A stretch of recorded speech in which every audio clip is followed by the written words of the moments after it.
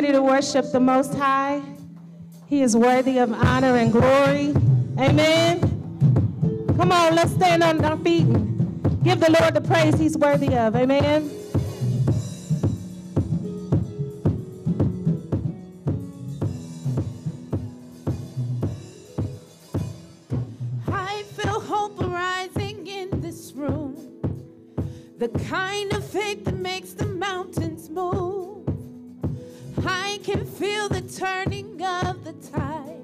You're rushing in, you're rushing in. I can see the miracles, and now the miracles that we have read about. I can hear a generation cry. You're rushing in, you're rushing in. You're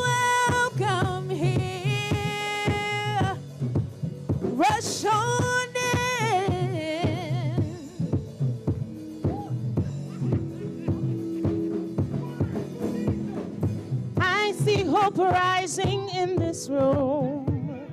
The kind of faith that makes the mountains move. I can feel the turning of the tides. The rushing in, you're rushing in. I see your glory now. The miracles that we have read about. I can hear a generation cry. You're rushing in, rushing in. Oh,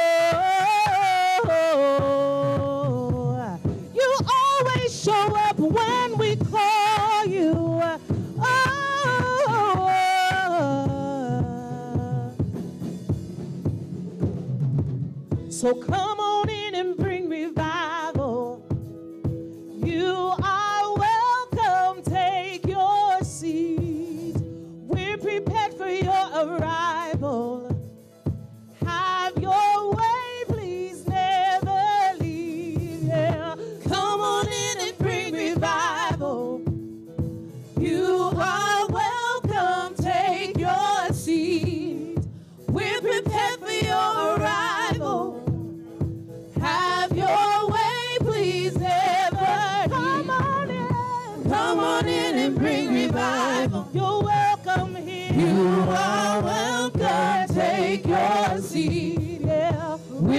repent for your arrival. Please have your way. Have your way, please, heaven. Come on in. Come on in and bring revival. We're welcoming you. You are welcome.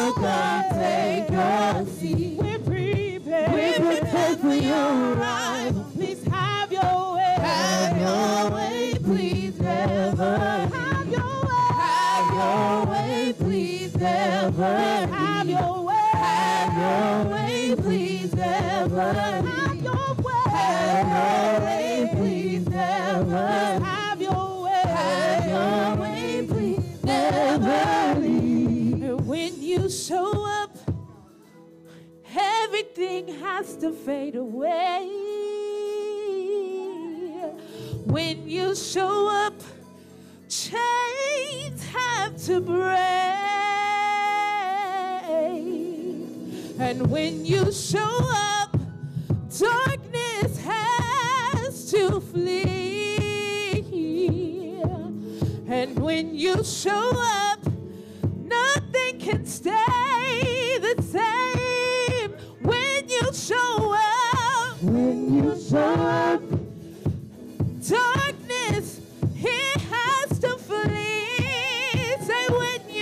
when you show up, say nothing can stay the same. When you show up, when you show up, say every chain, every chain, every chain has to break.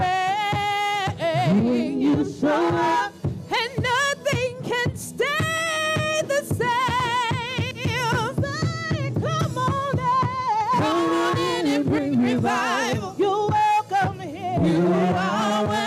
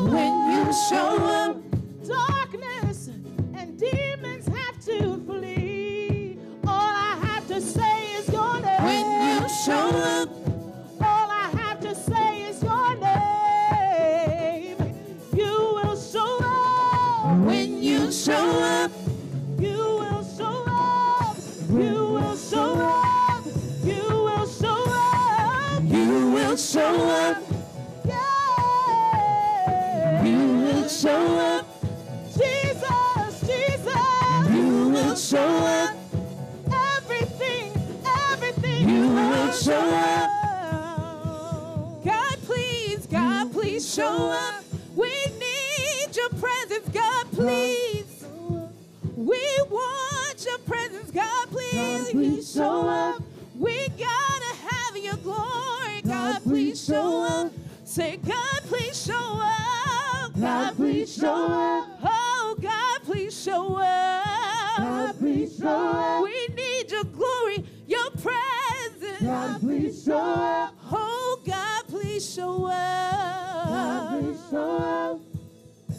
Come on in and bring revival.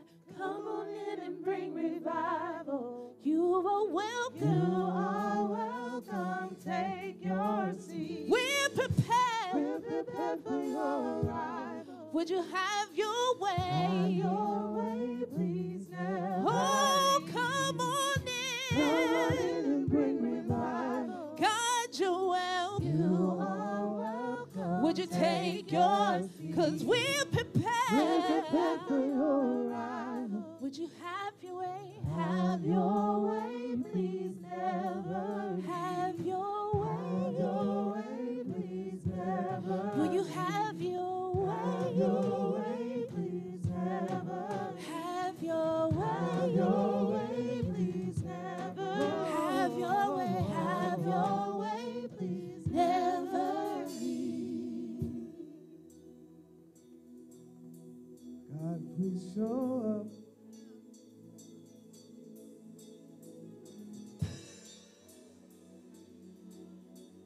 God, please show up.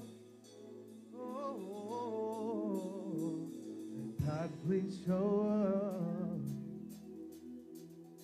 When you show up, when you show up. Yeah.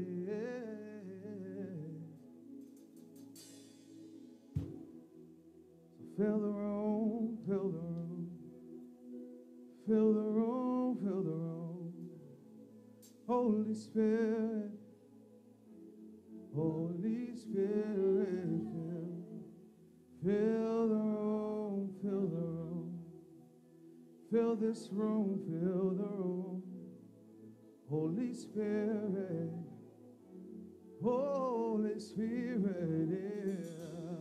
Fill the room, Fill the room. fill the room, Fill the room. Fill the room. Holy Spirit, Holy Spirit. Fill the room, Fill the room. Fill the room.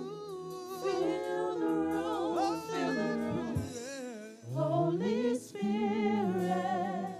Come on, let's just fill this place with words.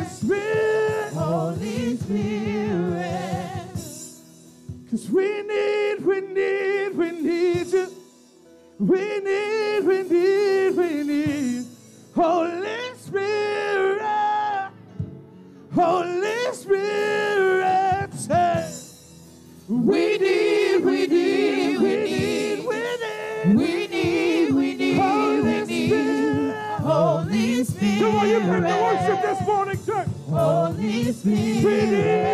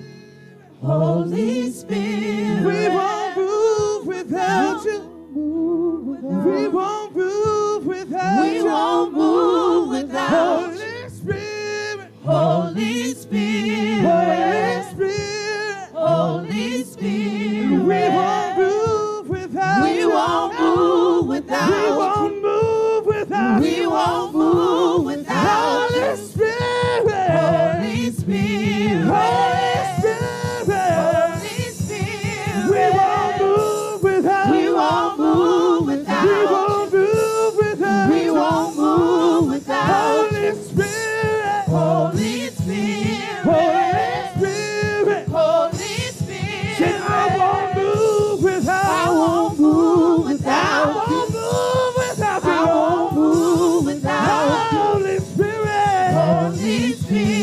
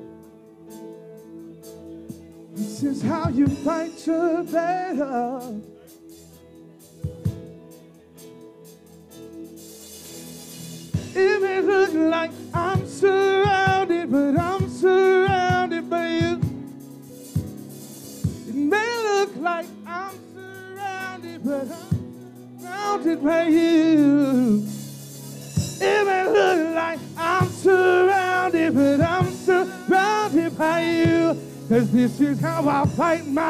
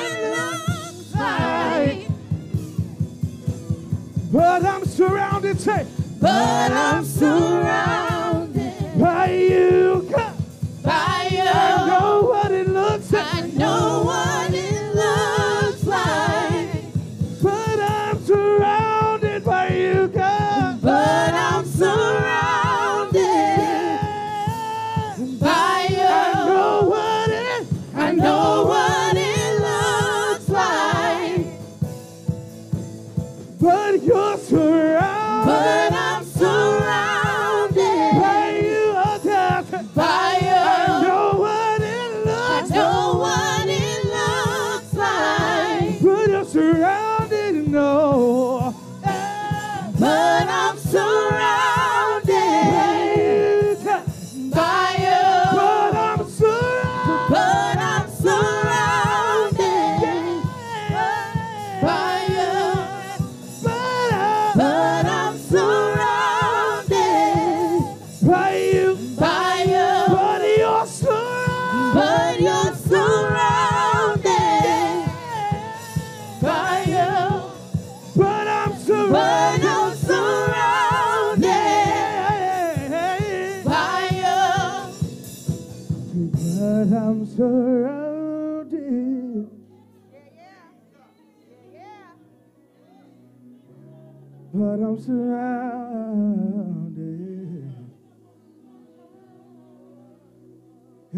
we're surrounded.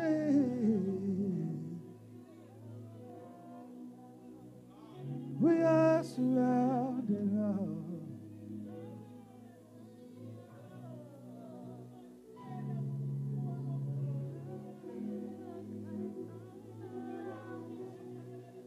Say, but I'm surrounded.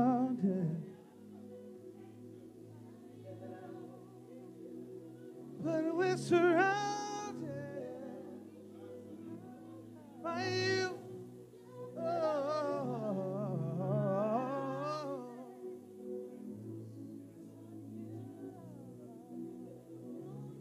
Looks like,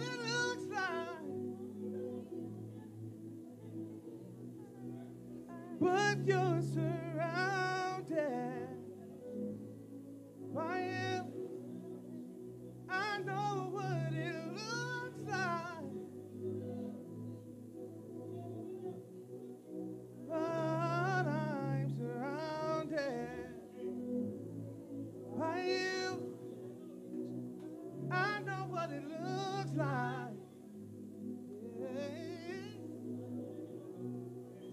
But I'm surrounded by you.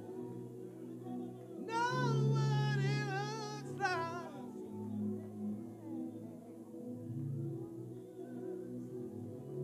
You're surrounded.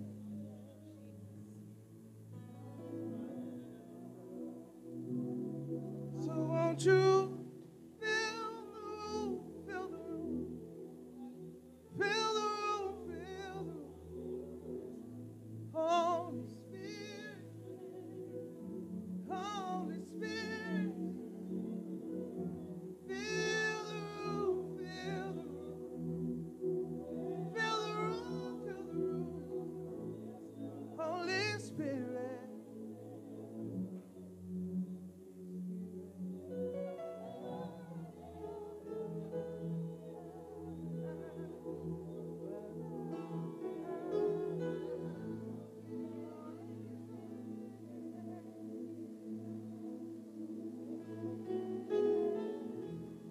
not going to rush this moment in worship today.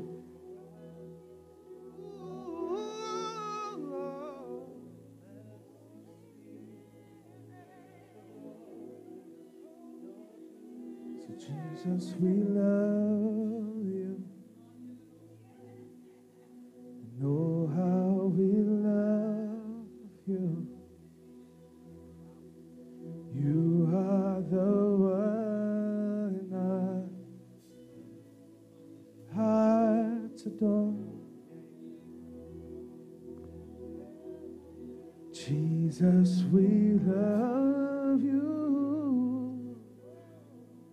Oh, how we love you. You are the one I, I adore. So, Jesus, we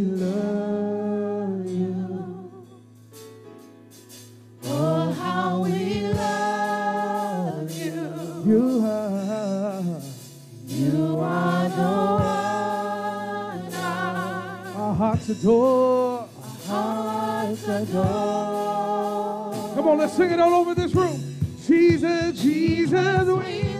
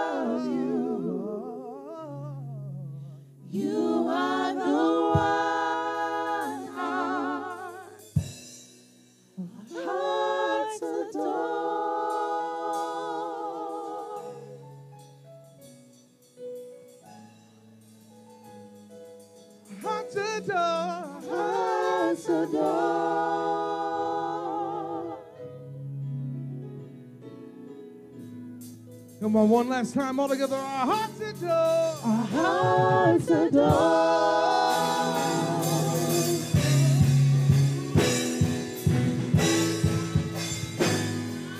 Yes, yes, yes. And Jesus, we do love you. With everything we have in us, we love you. The very essence of who we are is a creation of love. And so before we continue in our time of baby blessing, let's take a moment to ponder on that song, Jesus, we love you. It's all of my admiration, my way that I'm designed to express love. My admiration, my appreciation, my the very essence of who I am It's my expression that I want to express to you. My devotion. Once more, sing it one more time for me, Matt. Jesus, we love And I want you to comprehend that for a moment. When he says he loves us, I want you to go back to the cross and see what love is. Love is a cross that he hung on, a beating he took, a bruising of his body, a torture. And, and able to come off of a cross, he never did. He just hung there because of love to get us to a point today on earth to be able to express love to him because Jesus loves you and Jesus loves me. Once you look over at someone and tell them, Jesus loves you. Yeah, yeah. Yeah. And can you look at them one more and tell them this? I love Jesus too. Yeah, yeah. Good, good. Can, can we put our hands together and bless the Jesus that we love? Good. Can we celebrate him? Welcome to International Christian Center. Those who are watching outside this building, thank you for coming and being with us wherever you may be across our city, our state, our country, and our world. We thank you for being. Can we put our hands together for all of those who are watching outside of this building? Welcome to International Christian Center. where we are passionate about doing this one thing helping you to become not ordinary, but an extraordinary, fully functioning follower of Christ. You know, that's what life is all about. In the next few minutes, you're going to see us do something that helps us help you become extraordinary, fully functioning followers of Christ. We start at a younger age, so we call it baby blessing. When we get a chance to take an ordinary young child and through the blessings that come through God's love for them, to share purpose with them and take this ordinary child and remind the parents that they're really extraordinary in your care to help them become fully functioning followers of Christ. So that's what we'll be doing in the next few minutes as we prepare for our baby blessing. And welcome again to International Christian Center where transform people transform people. All right, those who are participating in our baby blessing of Zaire Walker today, can you come please and stand before us?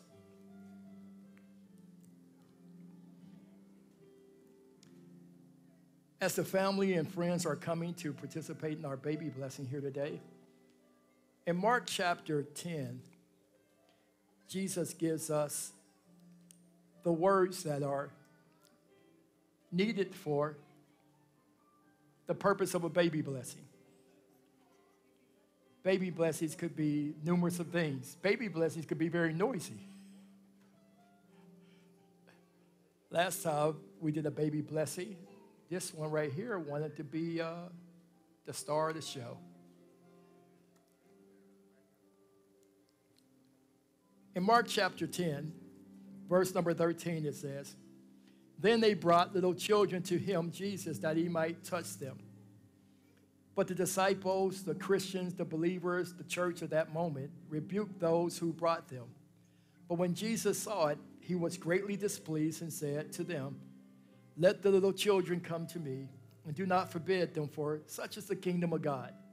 Assuredly, I say to you, whoever does not receive the kingdom of God as a little child will by no means enter it. Then he did what is the description of what you do with children when you bring them to church. Many churches and many institutions and many organizations do a lot of things to children today that causes children, when they get older, to not even understand the sequence of what they need to do to come to Christ. Some sprinkle them, and all the sprinkle does is irritate babies. Some water baptize them, and the baby don't even know what water baptism is. The baby don't know how to swim yet.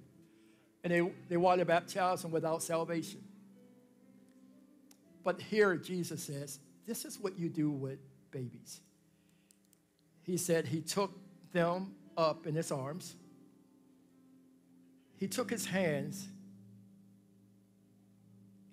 and he laid it on them to bless them. Jalen, I want you to take your hands and look at them. Look at your hands. Your hands are not ever meant to destroy the purpose by how you use them. They're used to be as Jesus used them. He put his hands on them as a blessing. To drive out rebellion, he used things like a wooden spoon for you, because you probably would have to drive it out of him.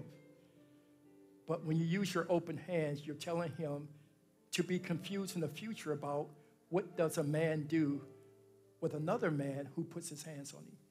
He won't know whether we're blessing him or cursing him. So if you need to discipline him, use something to discipline, but don't use your open hands because he'll never remember, he'll never understand. When somebody comes to bless him, he'll think that they're trying to hurt him, and he'll run away from them. For those who are serving in our prophetic time, Teresa and Joe, one of two of our prophetic men and women of our church, I'm going to give you back to your dad till it's time for me to grab you. You got a little bit of weight on you.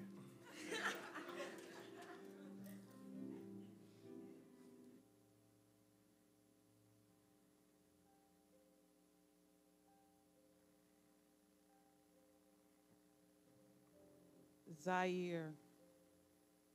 What the Lord gave me concerning you was legacy, river, and joy.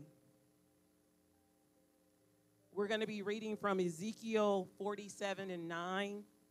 And it says, Every living creature that swims wherever the river goes will, li- will live. And wherever the river flows, life will flourish. Great schools of fish and people will come because the river has fresh water. Where the river flows, life abounds, and everything shall live wherever the river flows. So if we replace that with your name, it says, Every living creature that hangs where Zaire is will live. Wherever Zaire lives, things flow, life will flourish. There will be schools of people that will be around him because the Zaire has fresh water. Where Zaire flows, life will live and abound, and everything shall live because of the river where Zaire is. Psalms 46 and 4. There is a river of joy flowing through the city of our God. I saw Zaire giving instructions and teaching and training and coaching. He will be an amazing educator, says the Lord. He will bring a fresh way of learning to those people that have written have been written off and, sa- and said that they cannot learn. He is a happy teacher. He is the coach that gets the athletes to do what must be done without having to yell, but through motivation and encouragement. I heard the Lord say that Zaire is the legacy. He is the one that will build off what has been handed down and it will flow through him abundantly. I think it not strange, um, Jalen, that the Lord had you do your baby blessing on Father's Day. And what the Lord was saying to you that He is your Abba Father. And He says the questions and the pain of the Father that you thought that wasn't there, should have been there, and all that is ceased today. He says, On today, it is your Father's Day. It is not only a Father's Day for you, but it's for your son. It is for the future that you will instill in him. He says, This is the day that you will choose to pour your past into him or your present and his future. He says, Upon him, there is, like Pastor was saying, there is a rock inside of him, and he is solid.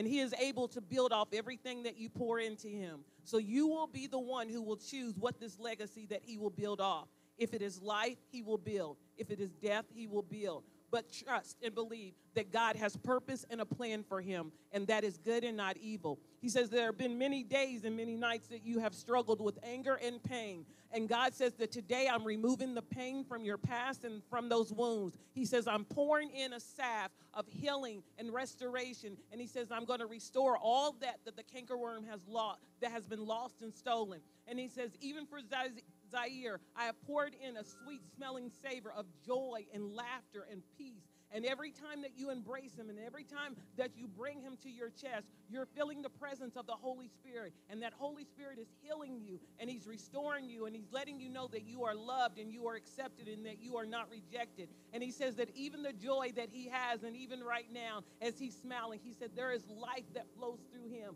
And that as people interact with him, there is healing and there is joy that comes through him. And he says, don't uh, don't think it's strange that, that, that these people, these multitude of people that are coming around him, that are trying to uh, get around him, think it not strange. It's because they're empty and they're coming to that well, they're coming to that river to be filled up, to be poured into. And he says, don't protect it to the extent that you're, uh, um, you're uh, stifling what his purpose is.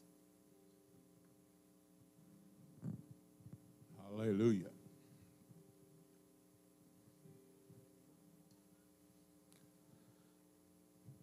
Psalm 36, verses 7 through 9 tell us how precious is your loving kindness, O God. Therefore, the children of men put their trust under the shadow of your wing. Zion will be abundantly satisfied with the fullness of God's house. Zaire shall drink from the rivers of God's pleasure. For with God, He is a fountain of life. And in His light, we see light. And then Psalm 65, verses 9 through 10, it says, God will visit the earth and water it. He will greatly enrich Zaire. The river of God is full of water. He provides grain. Zaire is grain. For you have prepared it. You water its ridges abundantly.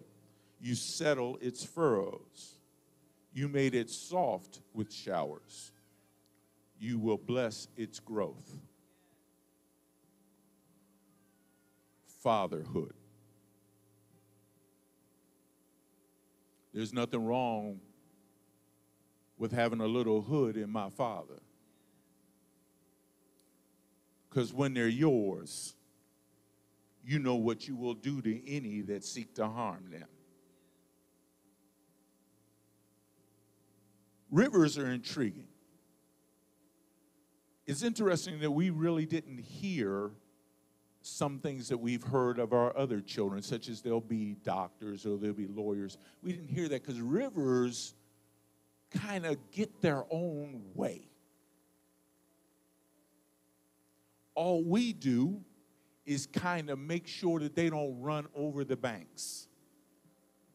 We give them boundaries,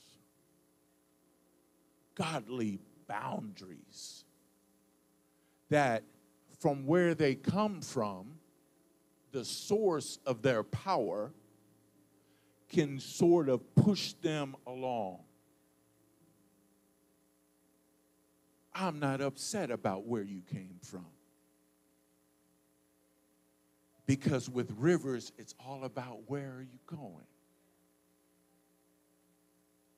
And the Bible said that he is grain. He's a provider. He operates from the waymaker that he helps ensure that other people have their needs met. So we don't want to kind of stop him from where he's supposed to go. We just give him boundaries. You can't go here, you can't go there but you can make your own way because he's powered by the source. Prophesy, young man, I hear it. In Jesus' name. Amen.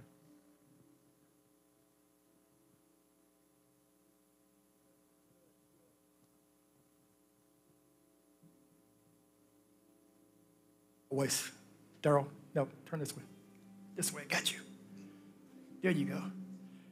All right. Come here, Daryl. Put your hands on his back. Okay. DA, put your hands on his back. We're missing one. This one right here. He's out of town? Okay. Good. Rice man, come here for a minute. Robert, come here. You fine. Put your hands right here. Step back. I got him. You're fine. Right? Put your hand right here. Put your hands on him. This one right here is out, out of state. This is Daryl's other son.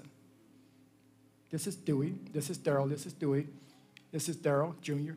This is D'Angelo. And now, before D'Angelo, let's see. No, step back. You go back in there. This, this order is really bad. There it is. There we go. Yeah, that, yeah, that's better. Yeah. Yeah, okay. So we have Daryl, we have Dewey, we have Jalen, we have Daryl Jr., we have D'Angelo, and then bring him right here. Put him on the back of, put him right here. All right. All right. Good. All right. Don't be afraid of this, because you are. You think that you will mess it up but you won't. The only thing would mess it up if you never turn around and look back. if you don't turn around and look at them and remind them of who you are, that you are great, that you came through great mess. But the mess didn't make you, and you're not messed up, and you're not messing them up. There are decisions they make because you won't turn around and look them eye the eye and say, You're not a mess. You messed up, but you're not a mess. And remember, son, you messed up many times in life. But once you found the master, you've never been a mess ever again. So I want you not to feel the pressure and the weight of all of them. I want you to trust that the Lord guide them. And you don't have to prove that no longer. You are a man of God. And you do have a legacy. Stay still. You got to trust Dewey again. Can't fight with him anymore. There's something in him that your son's going to need. He won't get it if he don't think he's valuable to you. Too many generations we're going to get back to your son. He won't give it to him if you won't accept him. Accept him again as your brother. Call him your big brother again. You are my big brother. I love you. I need you. And then let him turn around and look you in your eye. And even when you don't want him to look you in the eye and tell you what you need to hear, respect it because he earned it. He's your big brother. And you have to respect him again. And stop running from him. Allow him to turn around and look you in your eye and tell you when you're not doing right. To remind you that you're more than what you do. You're greater than what you do. But someone has to remind you. The back person can't remind you. The front person will always remind you, even when you don't want to hear it. You have to let him turn around and say, I'm your big brother. And he reminds you that you come from great stock. You have legacy in your blood. And then you have to stop thinking that he can't tell you nothing because you know his story, you know it's life. And you try to imitate things that you should imitate just to fit in. Do you understand who you are? A bridge to the next generation a baby who's watching you, a baby whose arms on the back of your shoulders, saying that if you can't do it, how in the world you think I can? But you have to allow your brother to turn around and tell you, I've been some places you can't go. I've done some things you shouldn't do. And you can't say, well, look, you're not my. No, tell him you are my big brother and I need your experience. Tell me the truth, even if it's painful. And then you'll hear this baby cry to remind you that I'm watching you. Can I trust you? Can I watch you? Can I watch you play football and score? Can I watch you get up and push yourself? Can I watch you who's got one of the greatest minds and you accept compromise instead of being the head of the class? Can he trust you to live a life that he can follow? Can you turn around to him and say, I'm your big uncle? Trust me. And for you, I bless you today with a legacy. I bless you with an uncle that you can trust, with uncles, with a dad, with uncles, with a granddad that you can trust with your life. You'll look for models, they're right in front of you. You don't have to look no further. You don't have to look to the streets. You don't have to look to gangs. You don't have to look nowhere else. They're in the house. They're right in front of you, son. Don't you ever look outside the house again. Father, I bless him with strength, with integrity, with character, with confidence, with longevity and creativity. I bless you, son, with the ability to change the world. Christ in you, the hope of glory. Live strong, live bold, live courageously, and don't be afraid. Don't be afraid to look in the house again. They're all in the house, all the uncles, and the dad, and the granddad, and all the cousins and nephews and nieces, and all those people in that big family of yours. But remember, all the man you need is in the house. In Jesus' name, amen.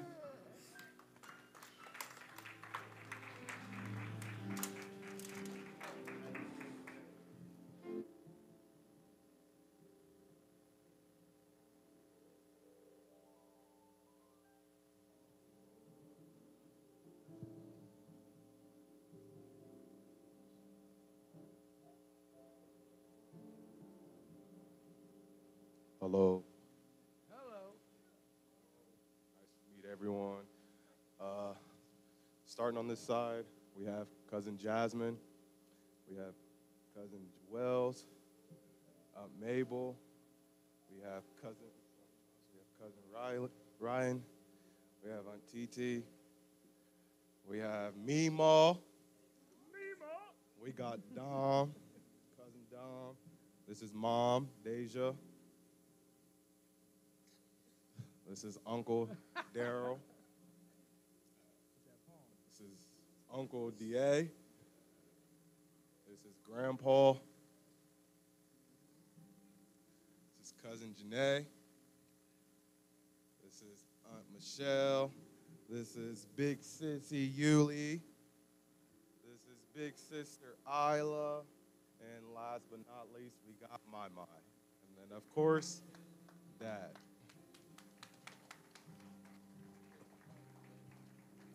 Amen. Hallelujah. It is my honor to say good morning, International Christian Center. That wasn't that good. Um, good morning, International Christian Center. Hallelujah. And it is my real honor to say Happy Father's Day. Hallelujah.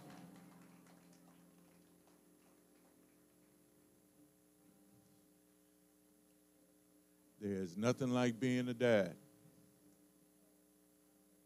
In Jesus' name. But I've come to find that the best job is being granddad. Yes. You ain't got to spank much rear end when you're granddad. You just get to hand out blessings in Jesus' name spanking stuff's for you, son. I get to just bless. God is good. My name is Joe Armstrong. It is my opportunity and pleasure to lead us this morning as we transition from the incredible baby blessing of Zaire Walker. Let us now go into our time of giving in the house of God in Jesus' name. Hallelujah. As you see in our, in our in house family, if you would like to participate, please raise your hand and our wonderful ushers will assist you. Our online family, if you don't mind, uh, you, your screen is showing you the platforms and availability we have for you to participate in our giving as well.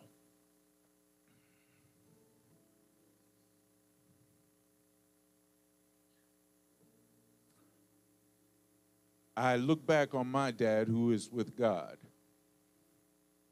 and you begin to analyze the understanding of giving. See, I my dad was not an absentee father. He was there every day. I seen what my dad did. My dad would do whatever was necessary to make sure that his children had. He'd work overtime and overtime again to make sure. I never wanted for a baseball glove, cleats, books, clothes, because dads know I will lay down my life for those that came from me. In fact, the real sign of fatherhood is giving.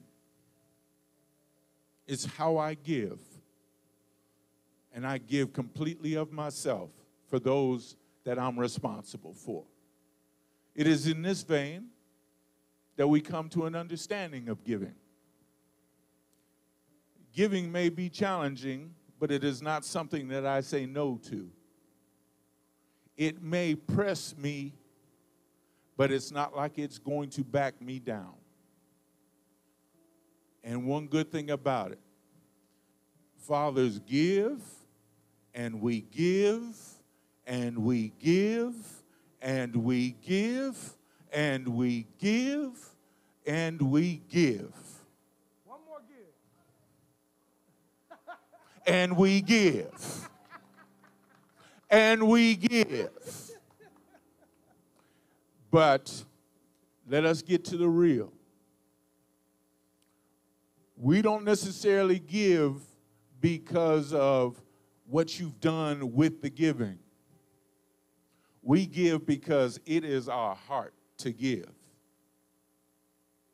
And you matter to us our children and grandchildren. I believe our Father said the same thing when He gave us Jesus. I believe Jesus said the same thing when He hung on that cross. If nobody else accepts my giving but Joe Armstrong Jr., that's good enough for me. I'll go through what I got to go through to make sure that they got away. Because that's what we do, dads we make sure ours got away. Amen. I didn't hear enough bass in that. Amen. Amen. Hallelujah. So, if all the fathers and the not yet fathers and the mothers and the not yet mothers are ready to participate in our giving, would you please raise your offering in the air? And you online, if you could, you could you raise your apparatus. You can hold on to your computer. You can uh, sit in your uh, bedroom and do what you do. We call this your day, Heavenly Father. Every day is your day. But we exalt you and glorify you on this day. It is a blessing that we have an opportunity to bring our tithe and our offering into your house. Would you do with it as fathers do? Would you make a way for all those that have need? Would you bless them overly and abundantly what anything they could hope or ask or think? Father, they are just like you. Would you bless them above anything that they could set their mind to? And can they see you glorified and exalted? In the name of Jesus, we are in agreement and we say, Amen. Amen. We have a lovely uh, uh, time that we have. Uh, I've seen one of our Wild World uh, leaders today. They are on fire. Um, it ought to be, Wild World may be for about two, three days. It seems like she done brought all kinds of stuff in Jesus' name. So we will release our young ones to Wild World as well.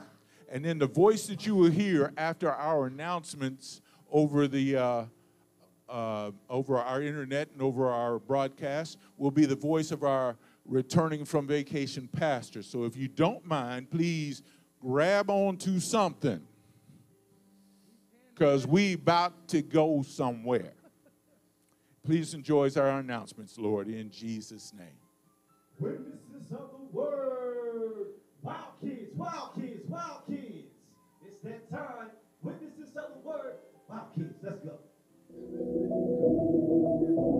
Only at ICC. Good morning, ICC. My name is Dewey. And my name is Alyssa. And I'm Aries. Let's see what's happening in the life of our church. If this is your first time with us, we would love to connect with you. Go ahead and head back to Members Connect at the back of the auditorium. Or if you're watching us online, head to our website and fill out the form so that we can connect with you. Join us Mondays from 7 to 8 p.m. for our prayer call. We know where two or three are gathered that God promises to be in the midst. So join us as we activate the power of corporate prayer, Mondays at 7. Hey, ladies, join the Fully Persuaded Women's Ministry on Friday, October 21st through Sunday, October 23rd this year. You got this Women's Advance at the Berlin Grand Hotel in Walnut Creek, Ohio. We want you to register right now online at intl cc.org. A $25 non refundable, non transferable deposit is due August 7th. So, in order for you to reserve a room, we're looking for you to make those payments. You can do that online, you can do that at Members Connect and on the kiosk. If you want to find out more about who we are, what we believe, or becoming a member, you want to get signed up for Next Steps. And you can do that by visiting Members Connect in the back of the auditorium or visiting us online. Hey y'all, it's that time of the year, Summer Performing Arts Camp. Mark your calendars June 20th to June 24th. This is happening 6:30 to 8 p.m. A place for every child to perform. This is totally free. Summer camp is open to kids ages 6 to 12. All kinds of classes and activities from hip hop dance, gymnastics, mime, jazz, even ninjutsu. Make sure you sign up online today. Register for two classes per child. Hey everyone, it's about to be the best summer ever. We have two outdoor services happening right here in the parking lot. First one is Sunday, June 26th, and then join us again outside July 31st. Both of these will be our 10 a.m. service happening outside in the parking lot. Come on out, bring the friends, bring family, and bring a chair to sit outside. Our service will have some amazing fun things after each one. We got food trucks lined up, bounce houses for the kids, all kinds of fun and surprises. I'll see you there. Don't forget about our special Splish Splash Water Bash. It's going down July 27th at 7 p.m. Meet us outside in the parking lot. We're talking water balloons, water guns, face painting, all kinds of fun stuff for the kids and the family. So I'll see you there as well. Best summer ever right here at ICC. Fully Persuaded Women's Ministry is going to La Comedia Dinner Theater to see Disney's Beauty and the Beast on Saturday, July 23rd, 2022. You need to arrive at the church at 3 p.m. The tickets are only $70. A 35 non-refundable deposit will secure your spot. The balance must be paid in full by June 21st, 2022. Payments are accepted on our website, the kiosk, or Members Connect. It includes transportation, a Broadway production, and a dining experience featuring signature salad crowned with papaya chutney dressing, chef carved meats, a variety of pastas, fresh vegetables, and their famous sweet potato souffle. Need I say more? Don't be left out. There's only 54 spots available. It's an experience you will always remember. Don't forget to invite a friend. For more information, You can check us out online or at Members Connect in the back of the auditorium. And now let's continue with the service.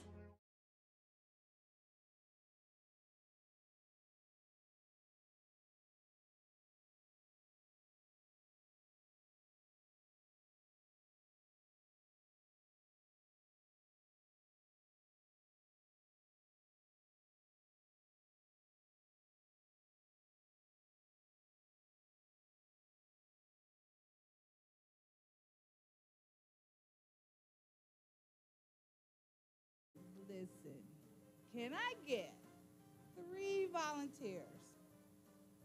With, I think Mr. D. Trey, that's my. Come here, Trey. Yes, absolutely. Here's one. Oh, I think it should be a father-son battle. Come on, Joe. Come on. Trey, want you to. D, you raised your hand. Come on, D. That's that's my other brother. Come on, D. Joe, you got to compete. You mean the elder of the church is saying no? Oh, Pastor, I need a new church. I need a new church. The elder just made me mad. You scared of your son, Joe? Who is it? Oh, Brent. Wait, you come come on back, Brent, huh? I said Brent. Come on, Brent. We're gonna talk. uh, Pastor, I need you to have a meeting with Joe later. You don't be putting family business out all on the internet. Joe, you're supposed to just do it. But that's okay. These guys are the best. Hi, guys. Thank you for participating. So, today we have a Father's Day game, and it's Father's Day trivia. So, we're going to ask you 10 questions. These buzzers all work. So, there. So, whoever buzzes in first gets the points. Of course, you know, it's, it's the era of participation. Everybody will get a prize, but one will get one better than everybody else. So, you do get a prize. I can tell you that. You just got to play now. You up here. All right. So, y'all ready? I need y'all to cheer them on, encourage them. Let's go. Guys, you got to stick together. Help your boys out. All right. Question's going to be on the screen, but I'm going to also read it, okay? Ready? All right, let's roll that first question. Is Father's Day celebrated the first, second, or third Sunday? Do not help them. Oh, uh, who buzzed first? Dwayne buzzed first. Sorry, I would have given it to you, Trey, but I didn't see it. Oh, okay, I feel you. Oh, it's on now. Uh-oh. Go ahead, D. And y'all stop helping them. I said cheer them, not give them the answers. Yeah, no, no. That's his guy. Help. Uh, not that kind of help. Go ahead. Third, the answer is the third. Woo! Y'all get one day of the year. You should know what it is, right? All right. Ready for the next question? What is the most gifted Father's Day present? I seen Trey. Good. Come on. Oh, sorry. No favoritism. Sorry. But good job, Trey. Answer is, oh, oops, sorry. Answer is necktie. See? Good job. How many did you give your dad? you didn't buy him? Because he got a closet. He got it like 5,000 of them. It's crazy. But anyway, just. mm. All right. The next question is Dad originated from what common sound made by babies? Brent, I, you broke the table, but okay, don't be tearing up. This is good furniture.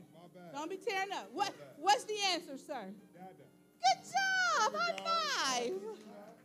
And the answer is Dada. All right. Number four. In Genesis 22. What?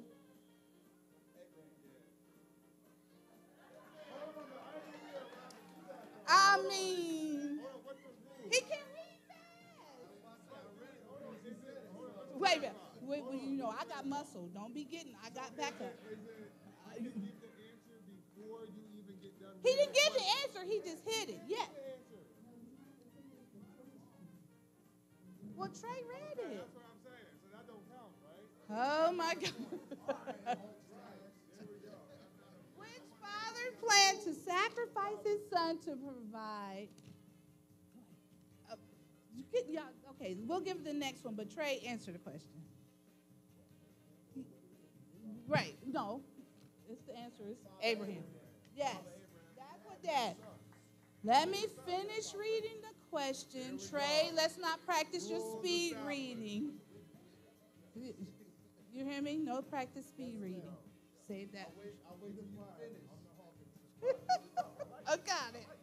Just don't break the table, Okay. What is the official father for excuse me, what is the official flower for Father's Day? Brent. Anybody else?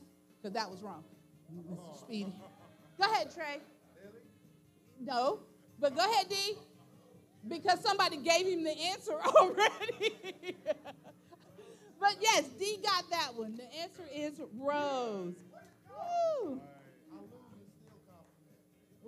Okay. Stevie Wonder wrote a song for his newborn daughter. What is the title of the song? Ooh, come on, Pastor. Go ahead, D. Ooh, no, you're not special. No. Go ahead, Brent. Ooh, Jesus, Pastor Ty, wait a minute. Don't, don't show the answer to this one yet. Come on, Trey. No, Pastor Ty, do you know the answer? Wait a minute, wait a minute. Hold on, hold on, hold on. Isn't she lovely? Yes. Uh, no points for that. She ain't special. She just lovely. but he wrote a, a daddy wrote a song. no,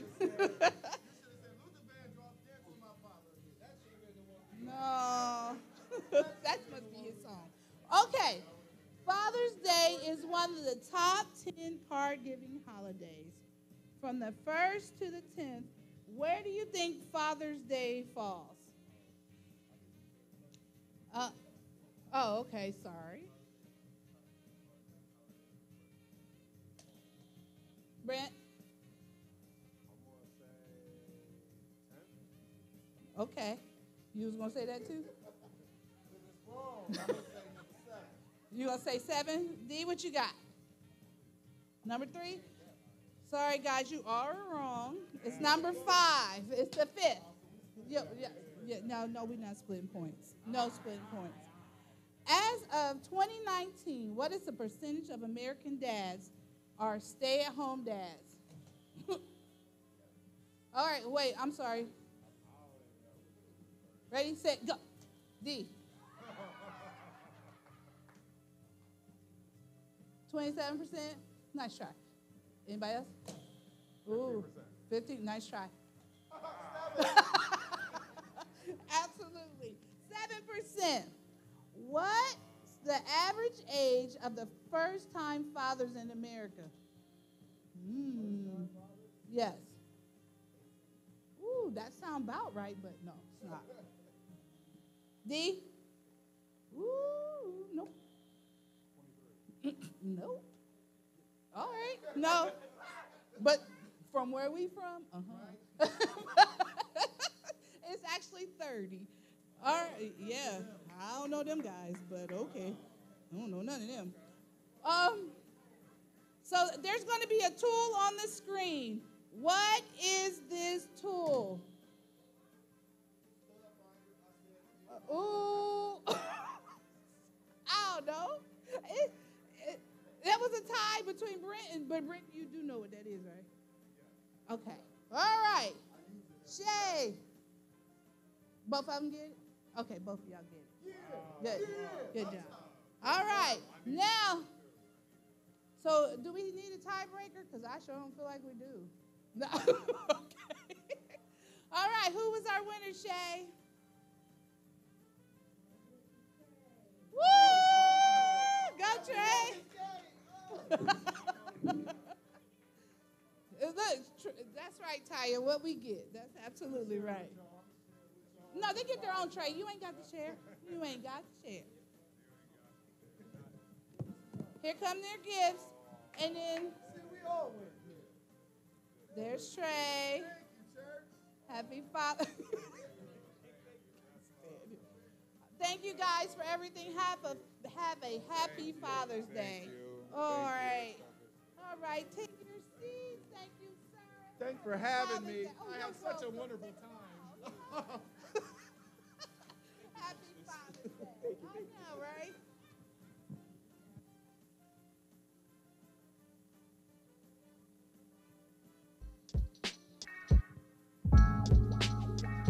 What's your name, buddy?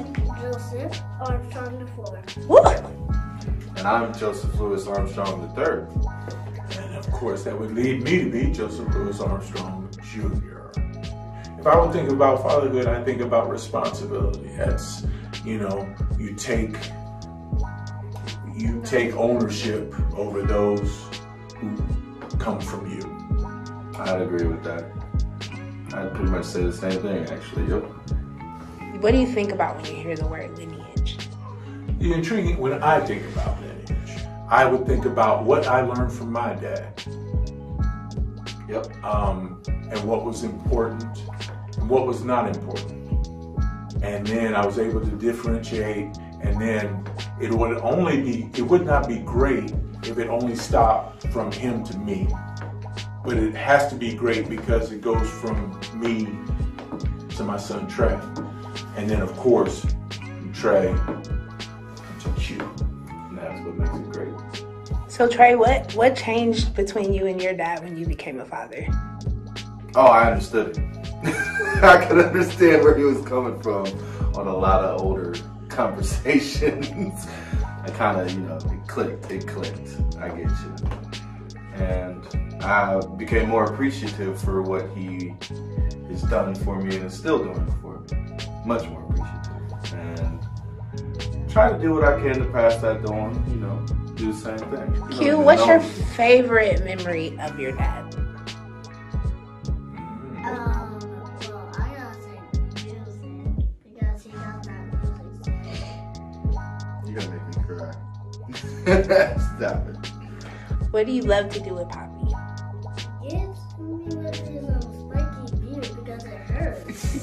So you like when he tickles you?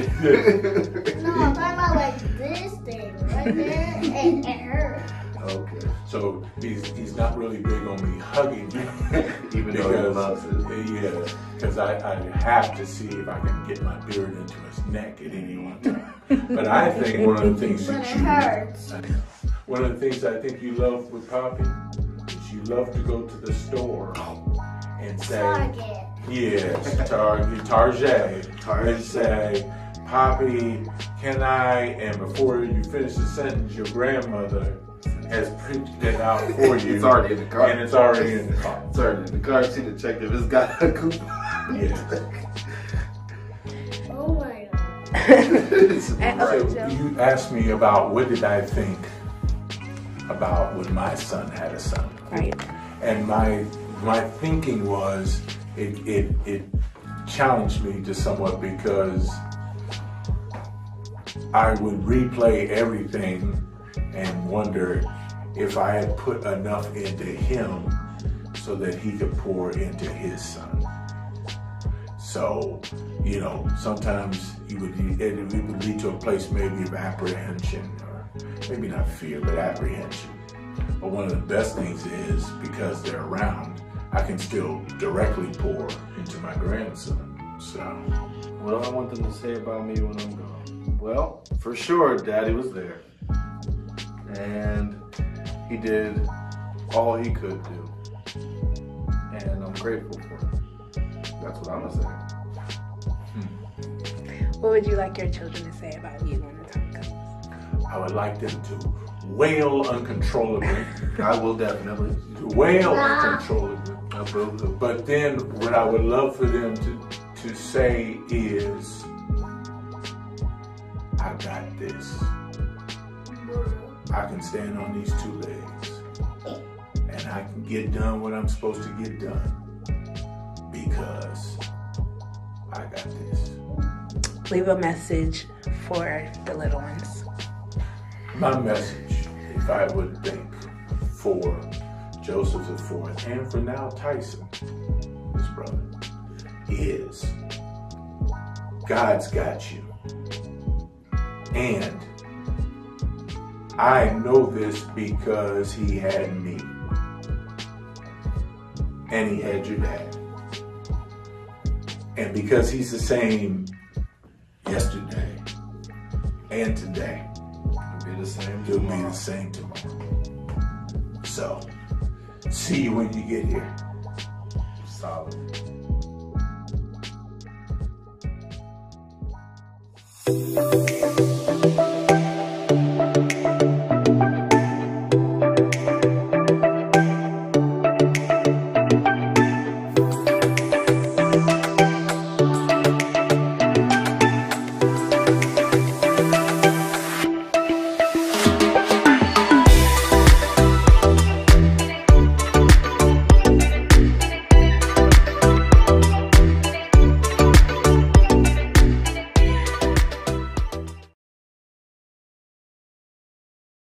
Outside this building and those who are inside this building, and welcome to the echoing place. Yeah. What, uh, you know, when I see things like that, through that video, I don't even want to teach no more because it taught for us. You know, it, was it already taught. It taught the lesson of what, what, what, is, what is a father? A father, and then a son, and then a grandson, and the legacy and the pouring and the downpouring from Joe to Trey, and then from Trey to his son. And his son always come and tell me, You always forget my name. I just did it again. Q, Q always say, Pastor, how do you forget my name?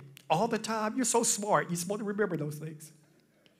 That's what, that's what grandchildren do. Well, welcome to International Christian Center. We're excited about this Father's Day. And can we put our hands together for all the fathers in the building, outside the building today? Yeah, good. Well, I'm honored to uh, be out of, this, out the building for three weeks and see and, and, and, hear some good, man, on the beach, I was listening to Matt for two weeks, and then I got a camp home.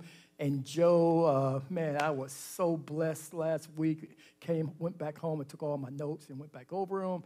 And today I'm home and I feel excited about being in the house of God, but being with you. I got some thoughts in my mind and I uh, got these thoughts and that, that whole that whole kickoff of Thirsty that Joe and Matt, and then I just like the rhythm of it. I, can, can, we play it? Can you can we start it again? Uh, can you can you just give me the beginning, the, the clip, like from the beginning? This thirsty thing, you know, like Matt did. Yeah, can you just give me that again? I just like the music of it. Yeah, I just like that. Before I even get started, you know, you fathers out there, some of you home, you just kind of sit like this. Just want you get up and shake a little bit. And some of you men right here, don't, you know, don't, don't just be bored today. When life is such an adventure, how about just uh, move a little bit? Uh, you know, just, I just, when, when, Michelle, when I heard the music, I just wanted to get up and do something. It's like, it was like a calypso. Yeah, it was something, you know, the, the beginning of it, but uh, if we can't find, don't worry about it. I Just make my own song.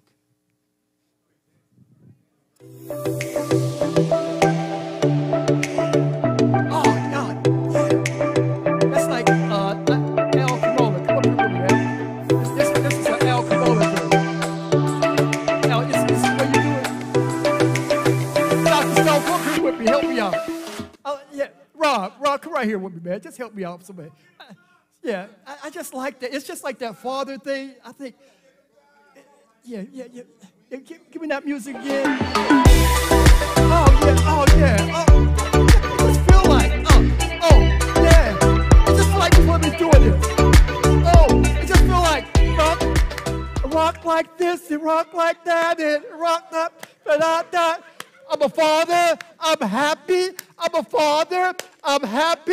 It's my Father's Day. I'm happy. I'm happy.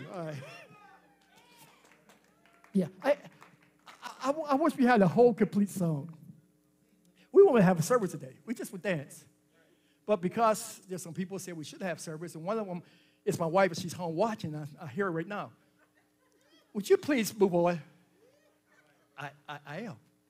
Yeah, so let, us just move on. Well, we started a series called Thirsty is that, and we have these water bottles called Thirsty. And you can get a water bottle with Thirsty on it to remind you that the only things that ever quenches your thirst is Jesus. Nothing else can quench your thirst like Jesus. But today, if you're a woman here or a woman out there, this is a focus moment for us to speak to men, but we're speaking to you who have sons, you who have nephews, you who have men in your life, you who have male that you, that you know, we want you to also grab something from it because there's something that you can learn from the day that can help you to help the men in your life maximize their ability because you're helping them and you know the areas that you need to help in.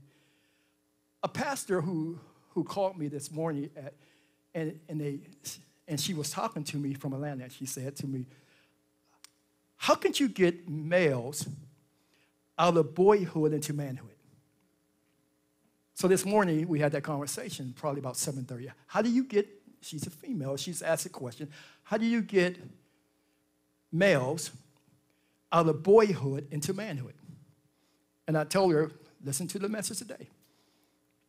Because we're not going to get boys out of boyhood. We're going to do what a great sculptor said.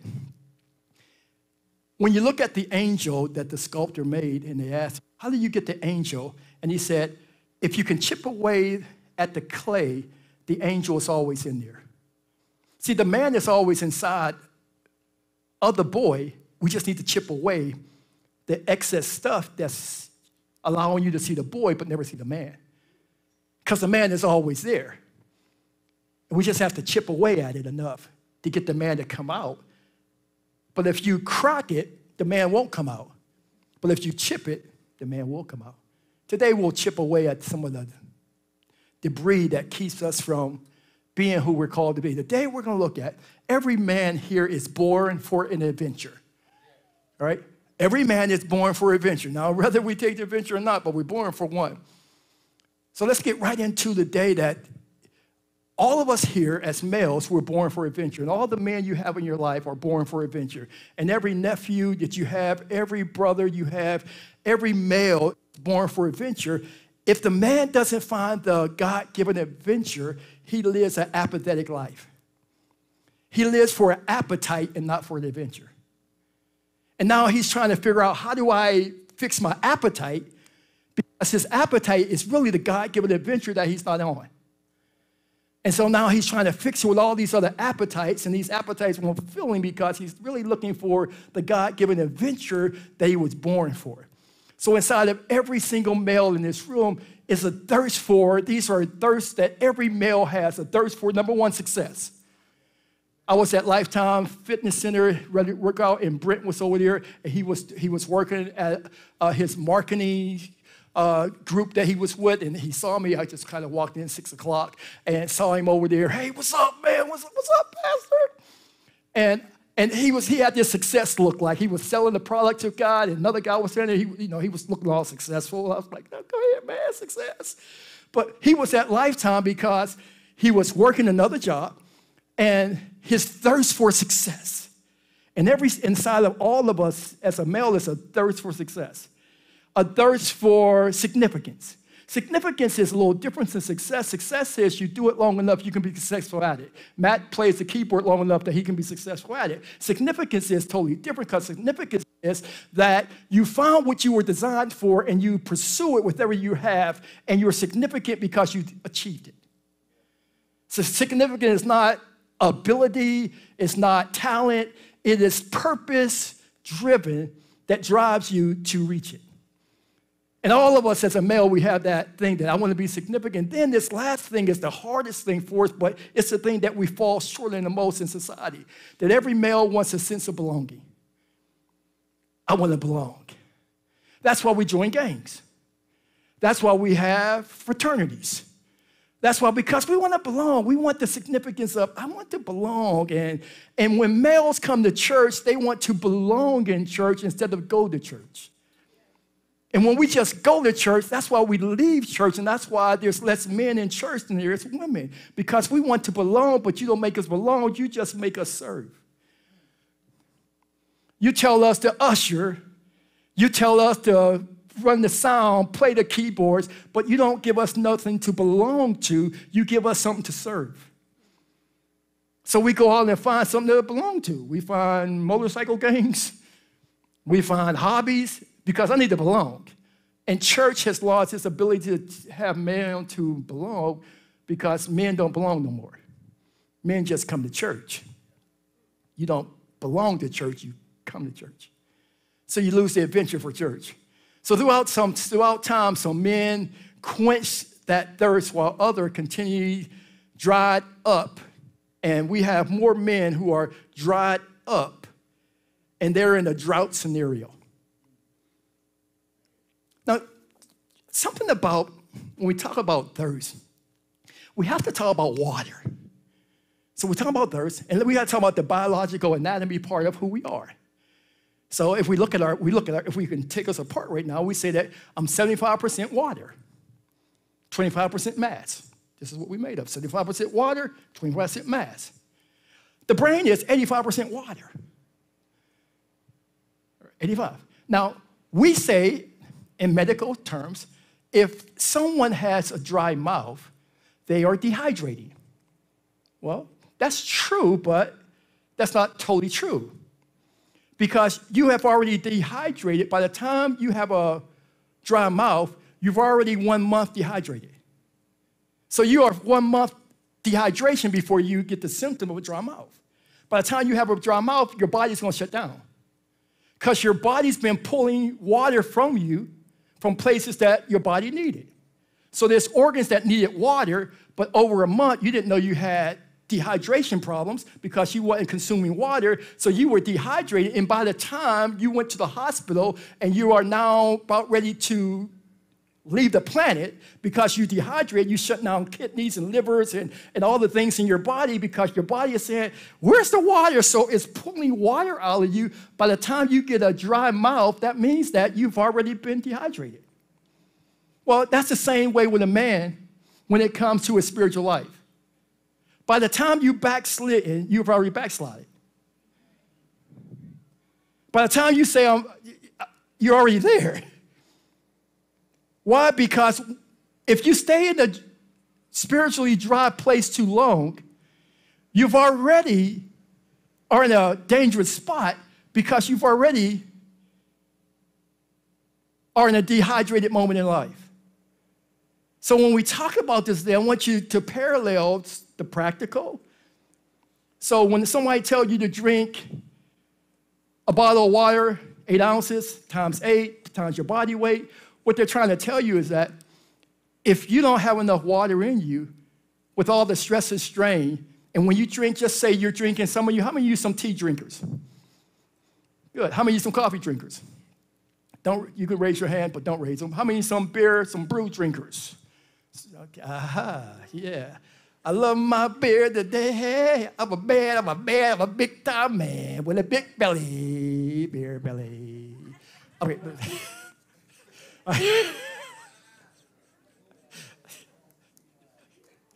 so, so here we are, Michelle. We got, we got these, we got, we got beer, we got alcohol, we have uh, tea, we have uh, coffee, and all of those drinks have water. They're water based, but they pull water out right? So say you don't have enough water. So you drink coffee.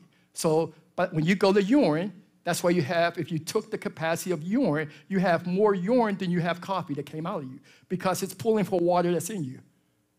So it's going finding other places in you and pull the water out of you, and it's dehydrating other parts of your body because it's pulling out of you, because the caffeine is pulling out the water.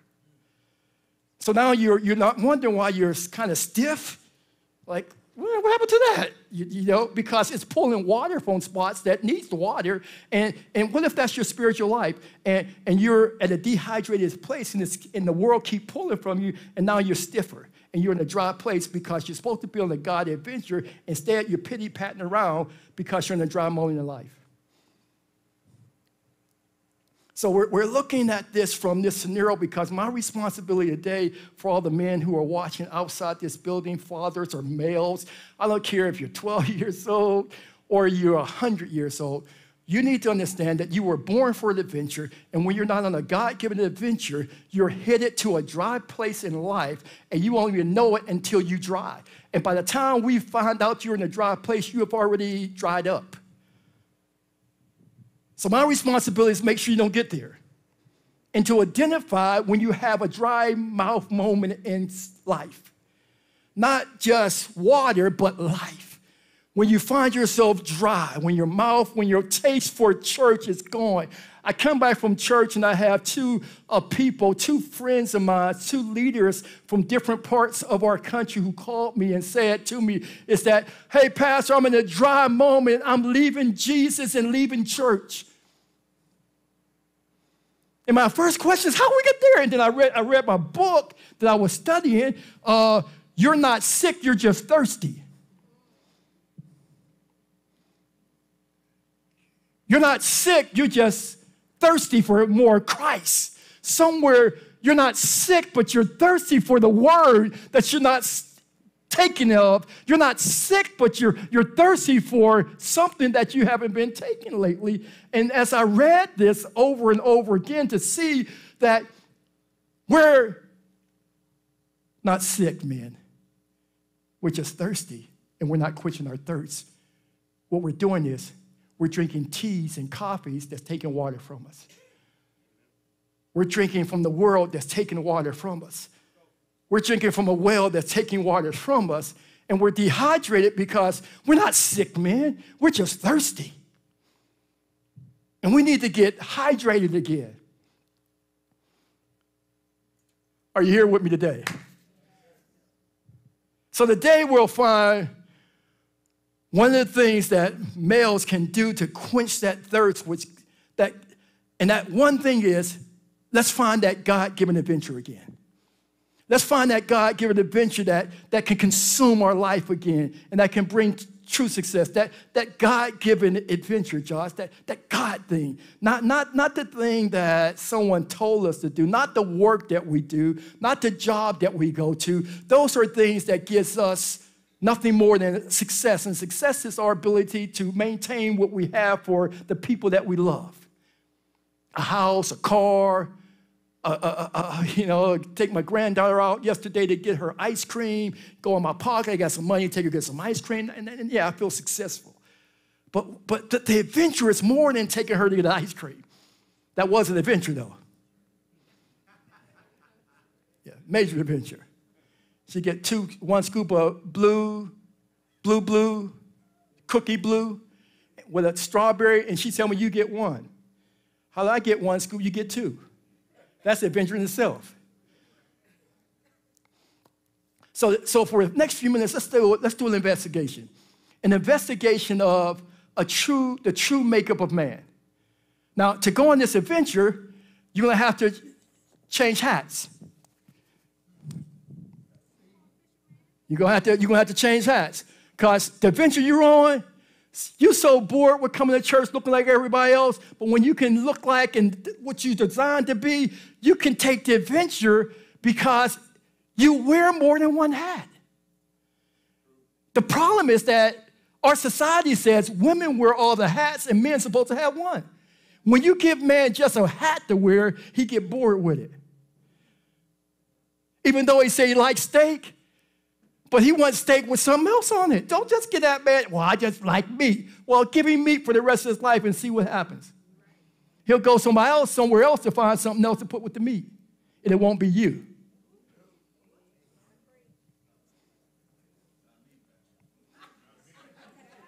Ah, I got some not me's over here. So, so let's take an investigation. Let's, let's investigate this thing. You, you have some males. Number one, here we go. Genesis chapter 2, verse 7 to 8. Let's read. It says, Then the who formed man? Then the Lord God did what? Formed the male man, the male who's a man, out of what? The dust of the ground and breathed the breath of life into the nostrils. And then man became what? A living being. Then what did God do right when he created man? He said, the Lord God planted a garden in the Eden and east, and there he placed man in where he formed him. Sometimes you have to know that what God is after is to prepare a place for the adventure that you were designed for. And you need to have the right stuff on to remind you that you're not apathetic, that you got to pull on the right hat for the adventure you're on because if all you do is wear your church best clothes for the adventure of a lifetime, then I'm on the beach and I'm on the beach with my hat on, Joe, and, and, and, I'm not at church. I'm on an adventure. You, you, you put on clothes to let people think you're somewhere that you're not instead of wearing clothes for the adventure that you should be on. And so it said in verse 15, the Lord God took man and placed him in the garden of Eden to do, uh, to do what Elder Joe do a good job at to work. And I remember when that guy was working three jobs, man. I remember that guy was working like, I mean, and now I got Robert Woods and he working three jobs, man. That guy working three jobs. I say, yo, man, what you working three jobs for? Because, mind you,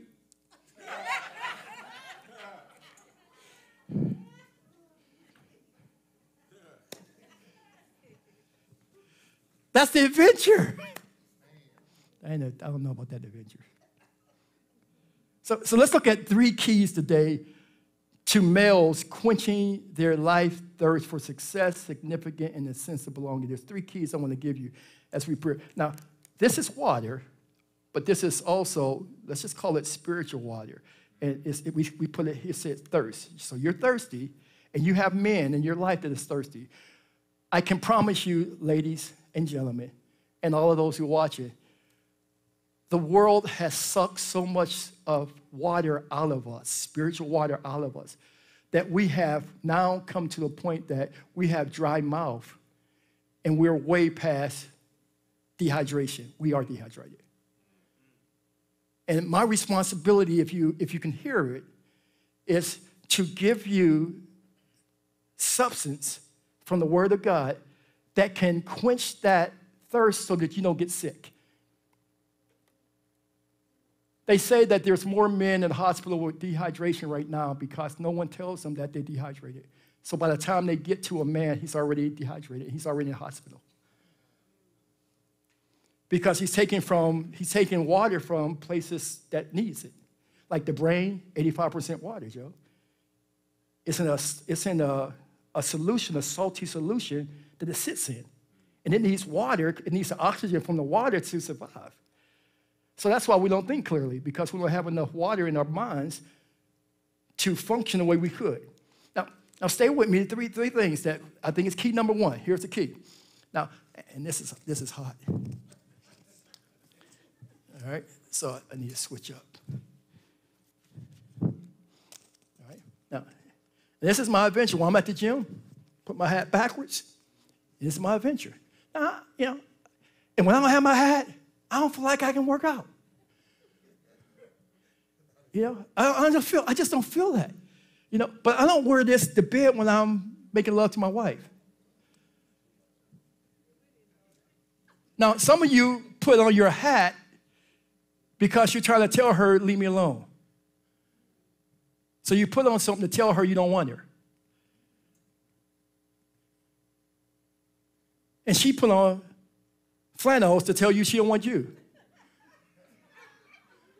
In the summer, can you? I don't understand this in the summer. Well, I got my flannels on, it's 90 degrees. so what you telling me? You don't want the adventure. So when you don't want the adventure, I need to find somebody who ain't got no flannels on. So I go downstairs, turn a tube on, and watch a flick with a girl who had no flannels on.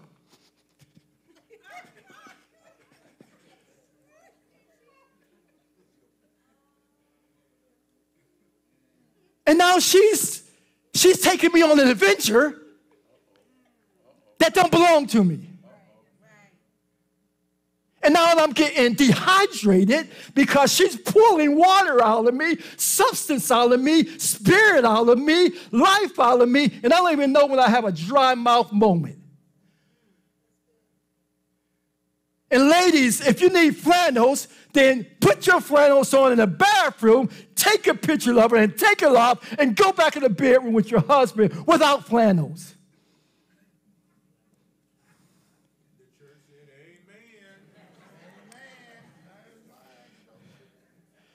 Stay with me. We're talking about keys. Keys to get us from dry places as men that day we end up with a dry mouth moment. And we end up sick. And we end up spiritually sick, physically sick, psychologically sick, mentally sick. And all it was was too many dry moments, and no one told us we were in dry places. So here we are. You are not a mistake.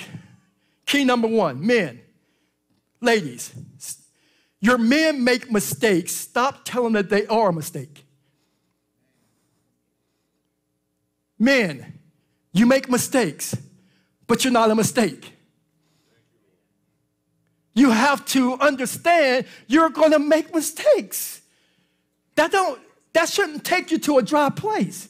The reason why you get dry with your mistakes cuz you call yourself the mistake.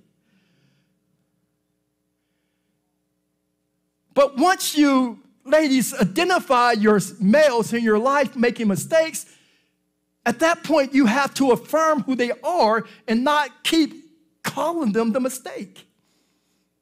And man, when you make mistakes, you can't keep calling yourself a mistake. You have to affirm yourself and say, but I made a mistake, but Joe looks at Michelle and say, honey, I made a mistake, but I'm marvelous. I'm a marvelous creation with unlimited ability and possibilities. So what you have in my house, Michelle, what you have in the house is a marvelous creation with unlimited ability and possibilities that makes your life better because you got a man. You, you, you, you see Brother Alvin is in his 80, 80, 80 plus years old, and, and, and so he made 80 plus mistakes. 80 years of mistakes. So if he said, I'm a mistake, do you know what's going what he's going he's going to fall down because he has more past mistakes than he have life left. So his mistakes will push him down and cause depression because he calls himself what he did and not who he is. So, Brother Alvin, you are a marvelous creation. You have unlimited ability, unlimited possibility, and you are not a mistake. That keeps men out of dry places when they know what they're not. See, a creative God used his creativity to make and place that, that, that, that same creativity inside of us as males. And you're not the result of a mistake, man, or some unexplainable big bang. It is God in it, it is Christ in us that's saying to us, if you're dry, it's because you keep thinking you are what you do, whether good, bad, or indifferent. You are not because you work. That's not who you are. You work somewhere, but you're not what you do. It's who you are that defines you. So, man, I want you to make this statement with me. Go back to the other slide. We need to make this statement. And men out there, you need to make this statement. Here we are. And ladies, help us out. Ready? Let's say it. You are not a, but a marvelous creation with what? Men, you haven't even tapped into all that you can be, but you can't be because you're still dry. And when you're in a dry place, you don't have enough mobility, mobility and freedom because you're sucking life out of every single organ in your life. When you're in a dry place, you don't need coffee. Coffee is simply a caffeine that you use to try to fix something that is broke. So you go get a person who's a caffeinated freak to fix you. And how many freaky people you be with to try to fix the reality that you're in a dry spot. And caffeine don't fix the problem. Christ does. Key number one believe it or not, it's still a fact. Believe it or not, scientists wrote it. You're not sick, you're thirsty. Believe it or not, by the time you get to a dry mouth, you're already dehydrated. Your organs are about ready to shut down. Believe it or not, by the time you get to a dry spiritual spot, you've already dehydrated.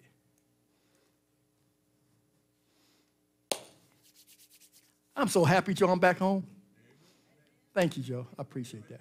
I, I got one amen up front, and here we are. Genesis chapter 2, so we can make sure we understand why it's a fact. Genesis chapter 2, verse 7 said, And the Lord God did what? The Lord God, right? So that just, that just validates what we just said, right? We need to validate. It's a fact. It's a fact. It's a total fact is that you make mistakes, and I'm going to make mistakes, but I'm not a mistake. I'm a marvelous creation with unlimited potential and possibilities in me and in you. That's the statement we have to make to men today. That's the statement we have to make to young men on the street corners today. That's what we have to make with men who have identity crisis. That's the, that's, the, that's the statement we have to make. We have to tell them that, hey, hey, you make a mistake, but you're not a mistake. Key number two there are places on this God created earth for you to start and continue your adventure. Believe it or not, it's still a fact. You can't let Columbus box make you smaller because of a box that you keep putting yourself in.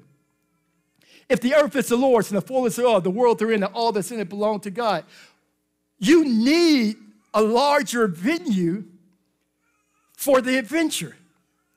If not, you get bored in the box and then you get more dry spots in your life. Because God gave you an earth. So, right from the beginning, man in his original state was put in the place to start out on the adventure which would bring him much fulfillment while learning the importance of, here's the word, consistently returning to his creator for direction. You know why we get dry? Because we forget to return. So, Josh, you're Jesus. And I'm a man. And I'm looking for the adventure. And I'm a son in the house with a mother, and I'm a single parent. I got, and I'm, I'm a mom, and I'm a single parent mom, and I got a son. Or, I, or, I, or, or, or, or I have a grandson, and his parents are gone. And what do I teach him to prepare him for the adventure ahead of him?